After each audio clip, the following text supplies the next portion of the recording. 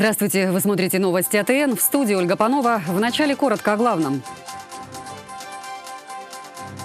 Я попросила у них сигарету. Вот этот в белой рубашке, который там сидит, он начал на меня руки распускать. Добровольцы общественных организаций, патрулирующие территорию ЮЖД, задержали двоих мужчин, которые устроили драку с двумя нетрезвыми дамами прямо на привокзальной площади. Задержанными оказались работники милиции. Триманий планував використати, використати гранату для підриву офісу волонтерів у центрі Харкова. О работе правоохранительных органов сегодня говорили и на сессии облсовета. Водитель э, Mitsubishi Pajero, э, двиг- двигавшийся на подъем с прицепом, э, потерял управление автомобилем, машину выбросило на полосу встречного движения. Два ДТП и двое погибших за последние сутки вследствие выезда водителей на встречную полосу движения. Теперь подробнее. Напились и распустили кулаки. Сегодня добровольцы общественных организаций, патрулирующие территорию ЮЖД, задержали двоих мужчин, которые устроили драку прямо на привокзальной площади. Ими оказались два работника правоохранительных органов. Пьяные дебоширы, а по совместительству работники правоохранительных органов. Те, кто сегодня оказались в районе половины третьего возле круга трамвая на ЮЖД, стали свидетелями шумной драки между двумя пьяными мужчинами и женщинами. Одну из них повалили на асфальт и принялись таскать за волосы. Шум, крик. Вот, молодой человек схватил э, за голову ее сзади. Все, что я видела. До этого все четверо выпивали в одном из уличных кафе. Кулаки пошли в ход после того, как одна из женщин, уже изрядно на веселе, подошла к столику, где сидели парни, и попросила сигарету. Мужчина ответил бранью и набросился на нетрезвую даму. Уже во время потасовки к компании подошел третий мужчина, который пытался успокоить обоих знакомых. Я попросила у них сигарету. Вот этот в белой рубашке, который там сидит, он начал на меня руки распускать. В То, ну, толстенький, ну, да, полненький. Начал заступаться. Пока я с ним разговаривала, этот сзади подошел и начал меня за волосы тягать. Прямо здесь. Он меня протянул, ну, мет- метров, метров 15 он меня протянул. Сколько это длилось? Где-то около 15 минут. Вы там с подругой тоже выпивали в этом кафе? Да, да. Ну, за, за- за подругу. Он ее тянул за волосы. Я просто заступилась. Ну, получила в лицо, и я просто убежала. На место драки выдвинулись добровольцы, которые весь август патрулируют вокзал, пока транспортная милиция на реорганизации. Это представители сотни Лева, правого сектора, Слобожанской казацкой варты и еще нескольких организаций. Но возле кафе зачинщиков уже не застали, а уже через пять минут встретились с ними во время обхода площади. Мы подошли, попросили их представиться, на что они отреагировали неадекватно, сразу кинулись в драку, применив э, физическую силу как бы к нам, в наш адрес э, начали оскорблять нас нецензурной бранью. А, Мы попытались э, без применения физической силы как бы их успокоить, утихомирить. Э, Потом подошли наши остальные, э, то есть общественный патруль, и мы все вместе уже их доставили в штаб на третий этаж, после чего вызвали все службы, их руководство для дальнейшего разбирательства. Уже в штабе активисты выяснили, что оба хулигана – работники правоохранительных органов, прапорщик и лейтенант милиции. Оба удостоверения – работников батальона конвойной службы милиции. Служебная форма также была с собой в пакете. Количество спиртного, глядя на этих людей, у них зашкаливает. Ну а то, что они сотрудники милиции, это только отягощает данную ситуацию. Это не простые хулиганы, это наше лицо. Поэтому мы с нетерпением ждем новую полицию. Надеемся, что она наведет порядок на улицах нашего города. Мы будем в этом помогать всячески. Когда дебоширов скрутили, те принялись кричать, что они участники АТО, говорят активисты. Где вы были до этого? Что произошло? Были на вокзале. Почему здесь оказались? Ну, был ли какой-то конфликт у вас с кем-то? Расскажите. Я не- мы не будем говорить. Почему? Не хотим. Ну, хотя бы в чем была причина конфликта, с кем? Расскажите, вы работники милиции? Нет. Третий мужчина, который подключился позже, работает там же. Говорить на камеру о коллегах отказался и заверил. Сам шел к остановке, увидел знакомых и попытался прекратить драку. Ну, после работы. В состоянии что-то пили, не пили ваши коллеги? Выпивали они. Сегодня Стыдно за свое поведение, за поведение товарища. Товарищи, да.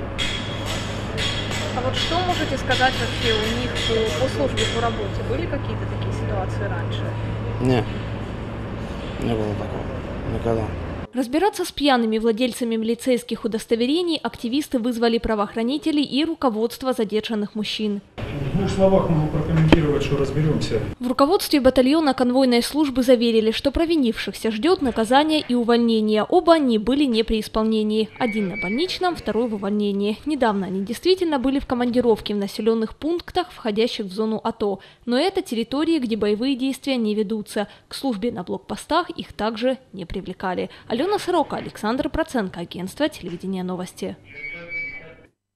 О работе правоохранительных органов сегодня говорили и на сессии облсовета. Кто скрывается за балаклавами? Почему с игровыми автоматами борются не совсем законным методом? И нужна ли правоохранителям помощь депутатов? В своем выступлении перед депутатами главный правоохранитель области начинает со статистики. С января месяца на Харьковщине произошло 12 диверсий и терактов. Силовиками были задержаны более 40 участников террористических и диверсионно-разведывательных групп, некоторые в момент попытки заложить взрывчатку, благодаря чему удалось предотвратить 8 терактов. Уже в августе в городе был задержан мужчина с гранатой F1, планировавший подорвать одну из волонтерских организаций. В ході подальших дій працівники Служби безпеки України встановили ще трьох його співучасників, які готували теракт та збирали розвідувальну інформацію. Їх діяльність фінансував та координував керівник оплоту Жилин. Під час обшуку у злочинців вилучено гранатомет РПГ-18, вибухові пристрої та гранати.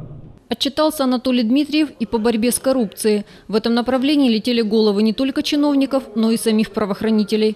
А у депутатов возникли вопросы по работе правоохранителей с теми, кто разгуливает по улицам Харькова в балаклавах. Ведь среди них, уверены депутаты, могут быть не только патриоты. За е, громадськими організаціями, за якимись е, патріотично налаштованими людьми сьогодні е, це вже переходить таку грань, е, де хто вже бізнесом займається. І ну, хотілося б звернути на це увагу. Я також звертаюся. Якщо потрібна якась підтримка, давайте зробимо спільну якусь комісію. Представителями общественных организаций и объединений по вопросам безопасности в городе встречался только вчера, сообщил Анатолий Дмитриев. Со временем людей в балаклавах на улицах города станет меньше, и ситуация будет полностью контролируема, заверил главный милиционер области. Что же до участившихся разборок гражданских активистов в камуфляже с аптеками, продающими наркосодержащие лекарства без рецептов, и игровыми автоматами, уже открыто несколько производств. Но тут требуются изменения в правовом поле. Так як це стосується ігрових автоматів, які е, щодня закриваємо, вони щодня відкриваються. І вже, наскільки я знаю, там є законодавчий проєкт в Верховній Раді для того, щоб все-таки проголосувати ці кошти йшли в бюджет, а не тим, хто кришує, і тим, хто цим займається. Большую часть повестки дня депутаты приняли в целом. Среди главных вопросов – изменения в областной бюджет на текущий год. Депутаты выделили средства на строительство жилья воинам АТО, на социальные и коммунальные нужды области. Выделение субвенции в размере 2,8 миллиона гривен для обеспечения участников э, АТО жильем. Мы выделили дополнительно 5 миллионов гривен м, для того, чтобы наши э, машины скорой помощи могли э, работать на территории всей области для, ну, в первую очередь на закупку э, топлива.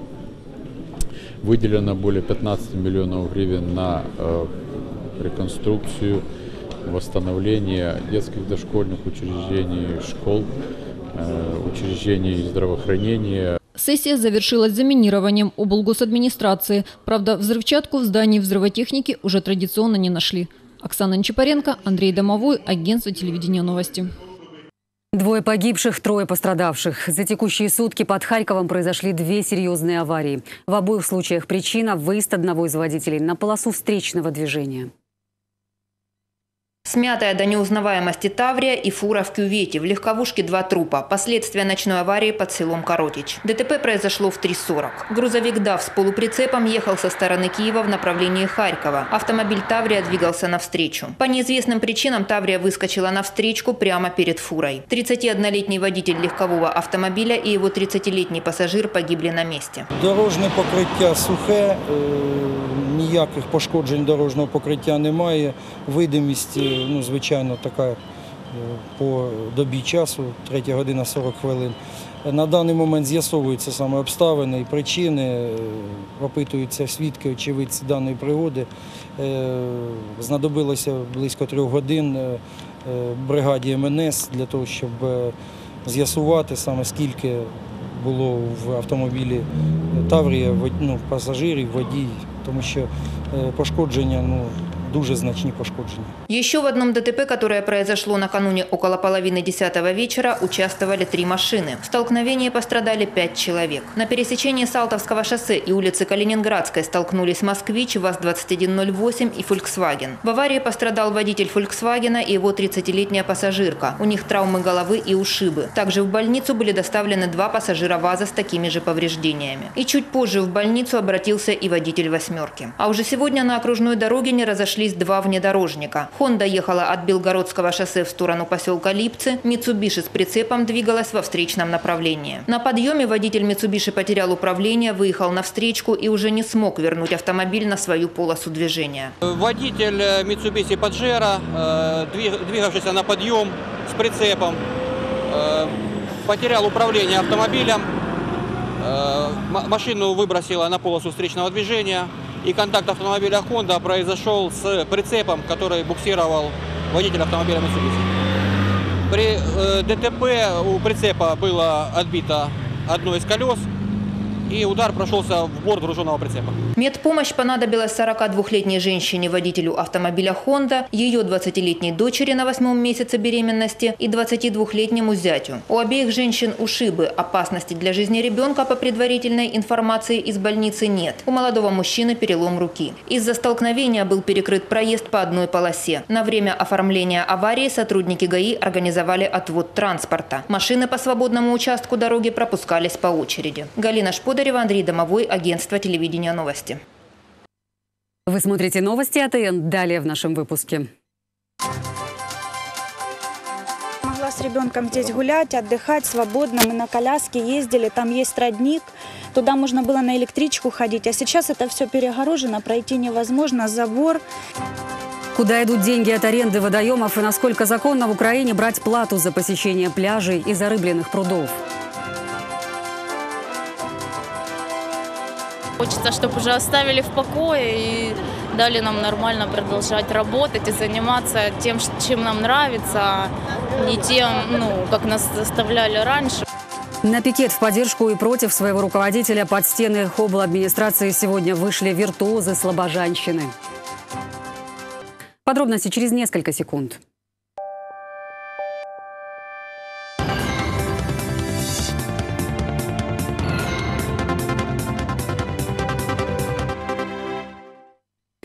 Входной билет в карман частнику. Рыбалка или посещение пляжа в Украине переходят в разряд весьма дорогих, а зачастую еще и опасных удовольствий. Практически каждый водоем в Харьковской области находится в чьей-то собственности. О том, куда идут деньги от аренды и какие суммы проходят мимо бюджета, в журналистском расследовании АТН. Село Протопоповка Дергачевского района находится вдалеке от основных трасс, но всего в получасе езды от Харькова. Заядлые рыбаки эти места хорошо знают. Тут находятся два небольших пруда – Юркив и Панский, зарыбленные еще в 2000-х. Именно они и стали причиной раздора в местной громаде. Многие жители утверждают, бывший арендатор Николай Цюра не то что местных и рыбаков к воде не подпускает, тут даже скот на водопой не пройдет. Раньше я могла с ребенком здесь гулять, отдыхать свободно. Мы на коляске ездили, там есть родник.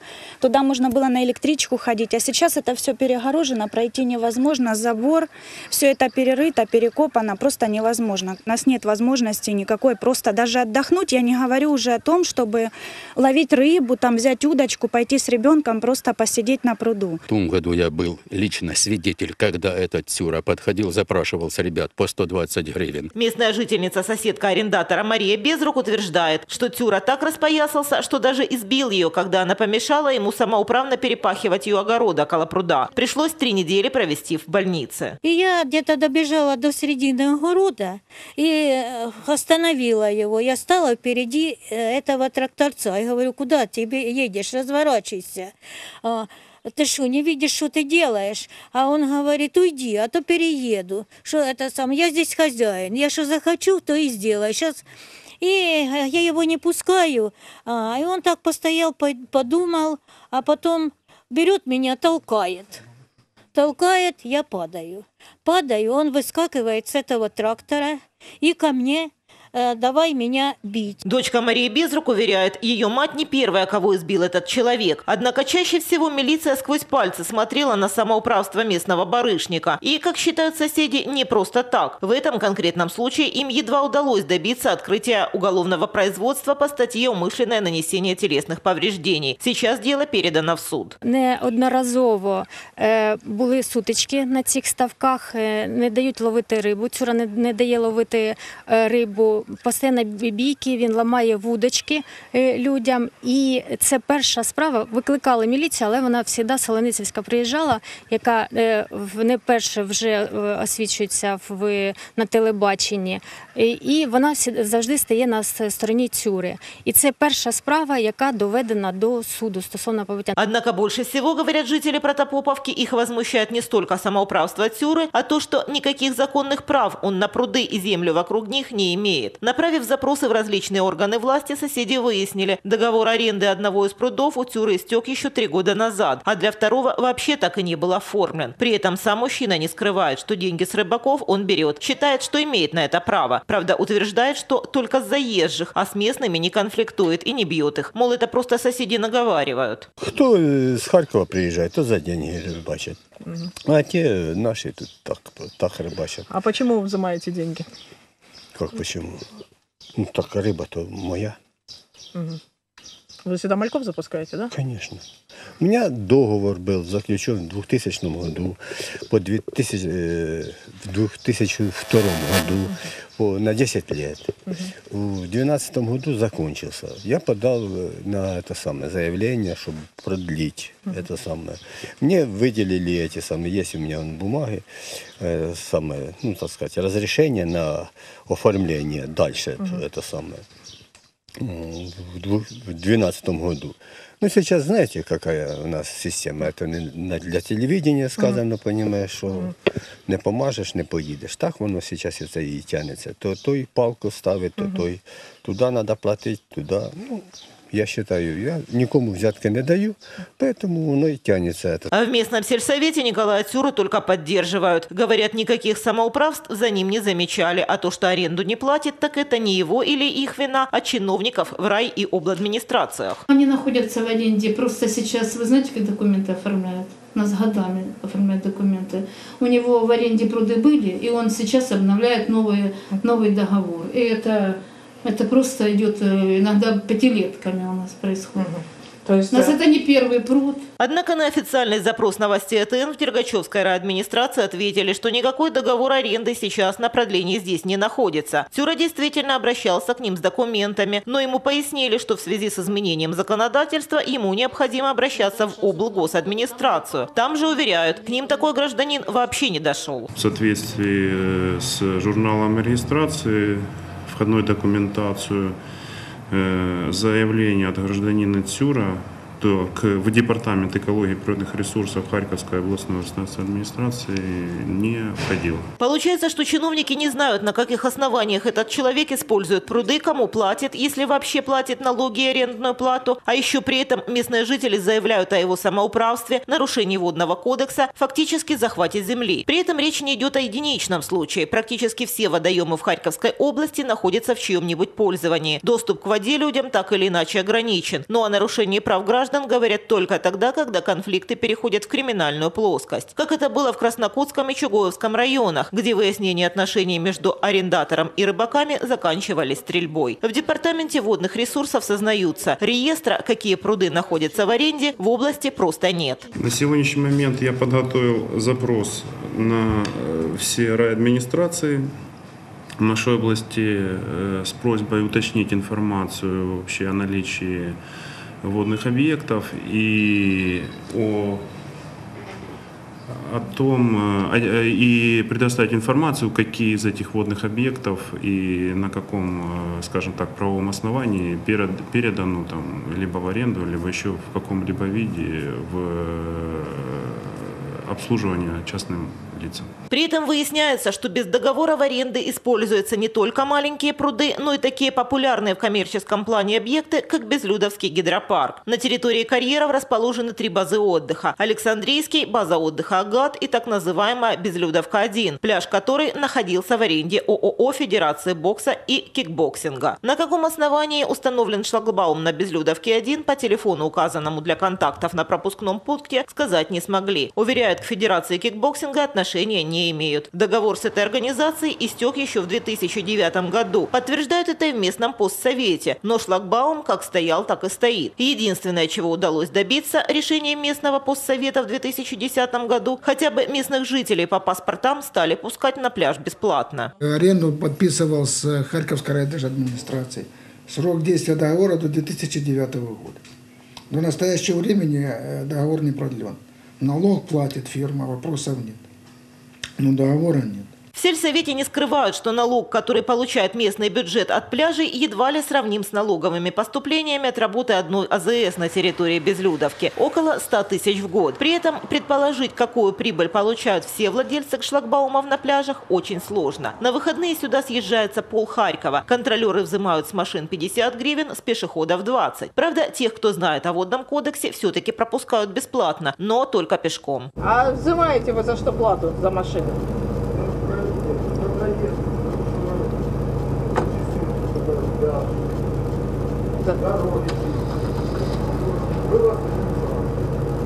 Ну так это с налогообложения можно снимать.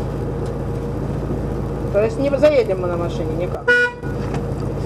Юристы напоминают, Конституция и Водный кодекс Украины запрещает введение ограничений при доступе к водоемам, если люди хотят искупаться или порыбачить. Местные советы могут ввести только правила доступа к местам отдыха около воды, но не к самому водоему. Такой особый порядок, то он может быть только распространен на особые услуги, которые связаны с отдыхом на водных объектах. Все остальное, а именно пропуск к воде, осуществление права граждан на то, чтобы искупаться, взять воды – или половить рыбу, он не может быть ограничен, не может быть установлен особый порядок. Иначе действия так называемых арендаторов подпадают под уголовный кодекс – самозахват водоема. Правда, говорит Михайлов, в законе есть уловка. Водоему должен быть полностью перекрыт доступ. Только тогда правоохранители вправе открыть производство. Так в Журавлевском гидропарке часть доступа к речке открыта, а сама плата, говорят арендаторы, взимается за возможность пользоваться всеми благами оборудованного пляжа, а также аттракционами. Стоит такой отдых 35 гривен с человека. Желающие просто искупаться могут взять временный билет на 40 минут. На выходе посетителю, уверяют, возвращают деньги. Бесплатно, говорят, пускают и тех, кто хочет провести и больше времени. Если человек заходит сюда и говорит, я ничем пользоваться не буду, мы его проводим сюда. Да, мы смотрим за ним, чтобы он ничем не пользовался. Но он купается, не вопрос. Просто человек стоит, охранники смотрят, либо спасатель смотрит, чтобы он там, не пользовался лавочками, не пользовался туалетом, не пользовался аттракционами. Однако, так или иначе, незаконная коммерциализация прудов в Украине считает эксперт, вскоре выльется в серьезное противостояние. Активисты уже сейчас уделяют немало внимания частным пристаням и пляжам. Хотя по закону, даже если недалеко от воды расположена усадьба или отель, пример тому старый Салтов, доступ к водоему для всех должен быть свободным. В Украине же купальщиков нередко встречают не просто билетеры, а вооруженная охрана. Эксперты считают, что наша страна вполне может пойти болгарским путем, когда из-за народного недовольства были в одну ночь открыты все пляжи в стране, а отели и фирмы остались зарабатывать на гостиничном бизнесе и созданной инфраструктуре, что только дало толчок туризму. Марина Николаева, Владимир Борох, агентство телевидения новости. Один коллектив, два мнения. Сегодня под стены Хога вышли два пикета виртуозов Слобожанщины. Одни требовали уволить, другие оставить в покое директора коллектива. Как решили судьбу руководителя депутаты? Далее в сюжете. Вместо музыкальных инструментов в руках плакаты. На пикет под стены облгосадминистрации сегодня вышли виртуозы слабожанщины. Утверждают, пойти на такие меры их вынудило желание как департамента с администрацией, так и депутатов заменить их руководителя Тараса Куценко. Хочется, чтобы уже оставили в покое и дали нам нормально продолжать работать и заниматься тем, чем нам нравится, а не тем, ну, как нас заставляли раньше. Нам бы хотелось, чтобы наш директор э, продолжил работать работать, потому что э, он э, автор очень многих интересных проектов, и они у него начали получаться. И хотелось бы, чтобы он довел до конца то, что он наметил. Оснований для увольнения у руководства области, уверяет сам Куценко, нет. Если желание отдельных лиц, устранить его от руководства коллектива. И переживает, если решение таки будет принято, коллектив перейдет под крыло университета искусств, где нет необходимых площадей для репетиций. И у Харьковщины, в конце концов, может просто не стать виртуозов. Не секрет уже, что в Харькове э, распределяются роли в культуре и э, ты будешь работать или не будешь работать от известных людей, э, нынешних э, руководителей университета искусств и вся, всей этой команды. Я э, против такой позиции. Но с позиции руководства, оказывается, согласны не все оркестранты. Рядом с пикетом в поддержку Куценко расположился пикет с требованием его уволить. Его участники уверены, что только с новым руководством оркестр вернет себе былое качество исполнения, которого не стало с началом реализации программ нынешнего руководителя. С вопросом о реальных причинах увольнения директора КП решил обратиться к начальнику управления по вопросам коммунальной собственности исполнительного аппарата облсовета и один из депутатов. По его мнению, «Виртуозы» едва ли не единственный удачный проект. Хотя о полной самоокупаемости речь еще не идет, но музыканты из бюджета получают лишь заработную плату. Аренду, как и рекламу, они оплачивают самостоятельно. Э, данное предприятие демонстрирует неплохие показатели. У них нет задолженностей, э, они не числятся в должниках, не висят э, с убытками на шее нашего областного бюджета. То есть вполне успешная деятельность коммунального предприятия. Придираться к работе Куценко, уверяют в управлении, никто не собирается. Это было предложение от облгосадминистрации. 19 вересня 2015 року закінчився строк контракту. Дійсно, він подав заяву щодо подовження, але е, це питання розглядалось на постійних комісіях, також профільних. Постійні профільні комісії прийняли рішення не подовжувати контракт. Його звільняють тільки в зв'язку з закінченням контракту. Депутати проголосовали вопрос в целом, утвердив увольнение Куценко. Оксана Нечипаренко, Андрей Домовой, агентство телевидения новости. Таким был четверг, 27 августа. Больше новостей на нашем сайте а atn.ua. В студии работала Ольга Панова. Всего доброго и до встречи. thank you